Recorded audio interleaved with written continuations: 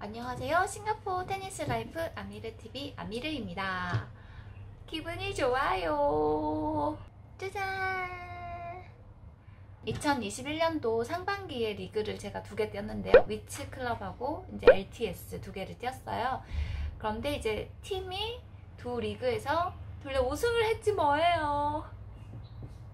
이제 저희는 다음 하반기부터는 한 단계 올라간 그 리그에서 뛸 수 있게 됐어요. 캡틴이라든지 이제 부캡틴이 운영을 너무 잘해주고 시합을 잘하고 능력 있는 어, 친구들이 많아요. 그래서 저는 이제 약간 어, 업, 업혀서 그렇게 됐습니다.